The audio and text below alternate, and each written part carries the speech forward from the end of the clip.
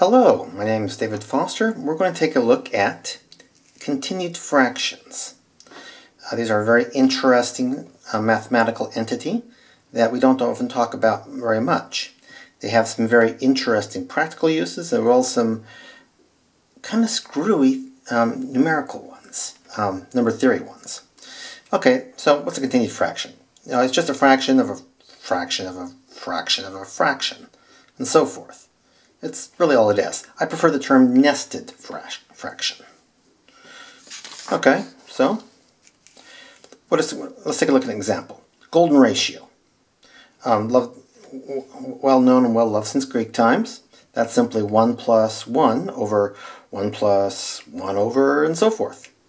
You know, I could uh, say this whole thing out, but it gets really tiresome really fast.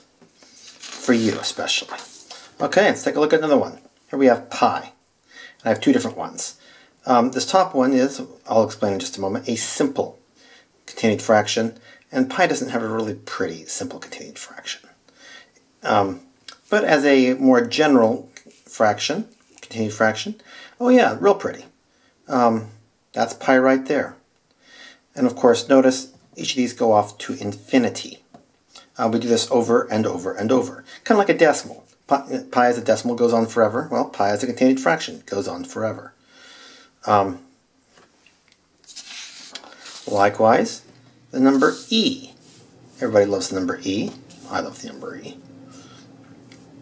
Um, 2 plus 2 over 2 plus uh, 3 over 3 plus 4 over... Yeah, yeah. I won't try to read all that. I confuse myself. But the... Uh, yeah, that's what E is, and that that's uh, a very interesting pattern.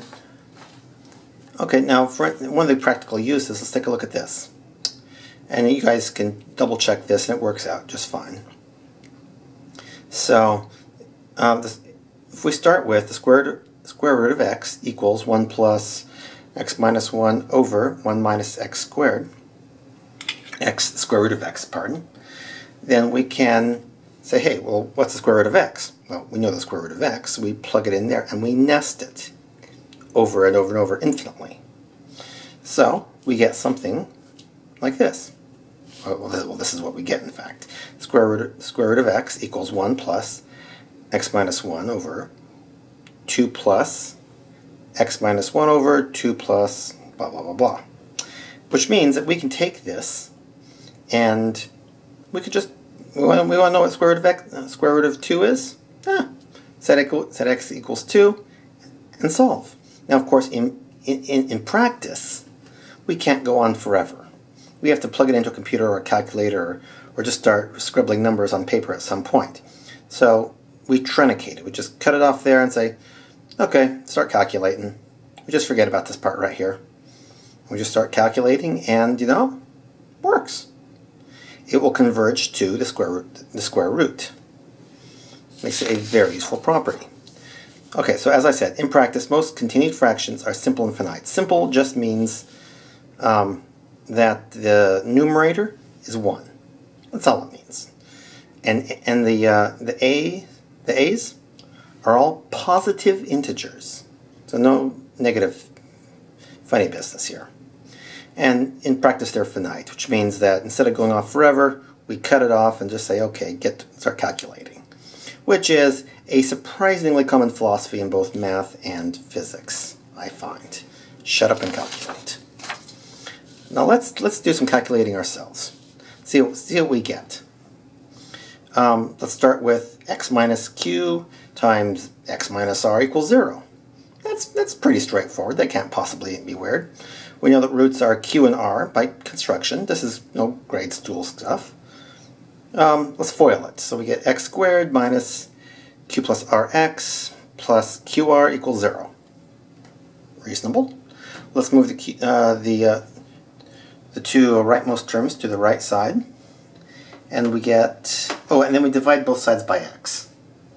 So we get x equals q plus r minus qr over x. Okay, pretty straightforward. We just, um, we know what x is because x is this. So we just plug everything here back into here again and we get something like this. Okay, so x equals q plus r minus qr over, yeah, don't make me say the whole thing. You don't want me to go there.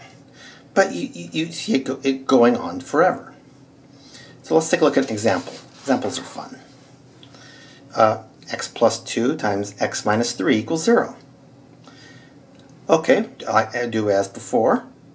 And we get uh, x equals 1 plus 6 over 1 plus 6 over 1 plus 6 over blah blah blah. This converges to 3. But we had two roots. We also had negative 2 as a root. Let's take a look what happens if we, if we, if we try to put that in. X equals 1 plus 6 over 1 plus 6 over 1 plus 6 over, and let's, let's just, stick negative 2 in here. Uh, okay, 6 over negative 2, that's going to be negative 3. 1 plus negative 3 is negative 2. Okay, so we're back down to here now. 6 over negative 2, that's negative 3, plus 1 is negative 2. So we're 6 over negative 2, that's negative 3, so 1 minus 3 is negative 2. Okay, so I want to point this out, and it will seem very strange. I, to me, it is very strange and fascinating. This is when you have an infinite continued fraction, it can be dual valued. That's not so particularly strange. I mean, a square root can be dual valued. What's the square root of 4? Is it 2 or negative 2? Well, it's both. Um, we might say 2 is the principal value, but the uh, both are perfectly valid answers. Uh, negative 2 times negative 2 is 4, uh, just as 2 times 2 is 4. But both work just fine. Okay, so we, we could also go triple valued if we want. It's not a regular continued fraction by any means. Um, it's kind of its own entity. I'd start with uh, x minus j times x minus l squared plus k equals 0. And then, of course, this one, this quasi, uh, quasi in a very rough sense, continued fraction, involves squares. But uh, yeah, it gives us uh, triple values, which I just find peculiar, considering you'd think it would be a perfectly finite calculable number. Okay, now this one's going to be a little bit more screwy.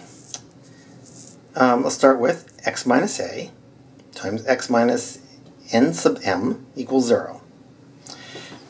Okay, so we saw this as before. x equals a plus n sub m minus a n sub m over n, over x.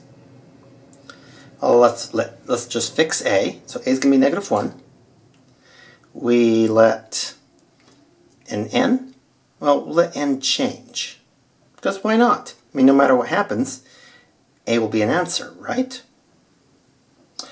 So I'm going to plug this in and let um, x become, well, 1, 1 over 1 plus 2 over 2 plus 3 over 3 plus 4 over, oh, okay, very pretty, very pretty, very nice. We saw this earlier though. So we know by construction this is negative 1, but we remember from earlier that this is e. Um, of course, it's off by 1, so this is e minus 1. Very tricky. Um, once again, it has dual values. It converges to e by certain, certainly. I, um, you can you can pull up the calculation on your calculator or math software or wolframalpha.com or whatever. But uh, yeah, it converges to e. Well, e minus 1. But we can put 0, negative 1 in, Okay, if we put negative 1 in um, here, so 4 over negative 1 gives us negative 4. 3 minus negative 4, that's minus 1. Uh, so 3 over minus 1 is negative 3. 2 minus negative 3, 2 minus 3 is negative 1. Uh, 2 over negative 1 is negative 2. 1 minus 2 is minus 1. When negative 1 is a solution, even though it does not converge to it. Now, I, sh I should point out real quickly that just because it doesn't converge to it, an answer, uh, that isn't that isn't the death knell. Convergence isn't everything. Convergence is, in, in the real world, a very useful, extremely important principle. Um, it's not the end-all and be-all of existence, though. The uh, no, it, it, that's the first thing you learn. In, one of the first things you learn in pre-calc when you're doing uh, limits is that just because you're getting close to a number doesn't mean that's actually the limit. So that's something to keep in mind. Now, something I want to point out here is that when, when we have a finite one, when, we're, when it only goes down so many levels, then it's single valued. And that's, you know, algebra is just what you'd expect. It's long, it's complicated, whatever. It's straightforward. When it's infinite, we have a more peculiar situation. It's not necessarily single valued. Um, I'm going to come back to this later because I think this is a very interesting principle. By later, I mean in future videos. Because I'm going to apply this later to nested radicals and to divergent series, such as the infamous 1 plus 2 plus 3 plus 4 equals negative 1 12th. The second point I think is important to look at is closure. Okay, closure is just a fancy word that means if you uh, you add two numbers, you should get one of those same kind of numbers.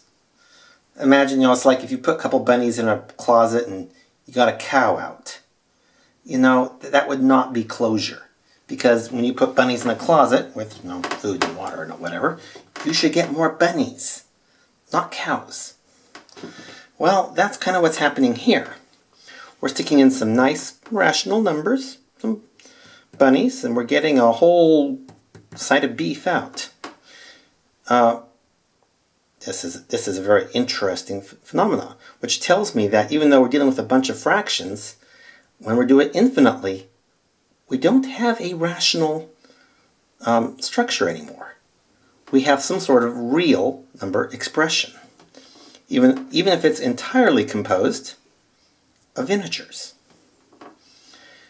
So, once again, closure now, this, this seems very kind of trite here, why I'm emphasizing it, because a little bit later, in future videos, this will seem very significant, because we're going to see some things that we would expect closure, but we don't see. So, um, let's just start off with uh, some continued fractions. Let's think about this, and hopefully I'll come back next week with a little bit more. Thank you guys, and have fun.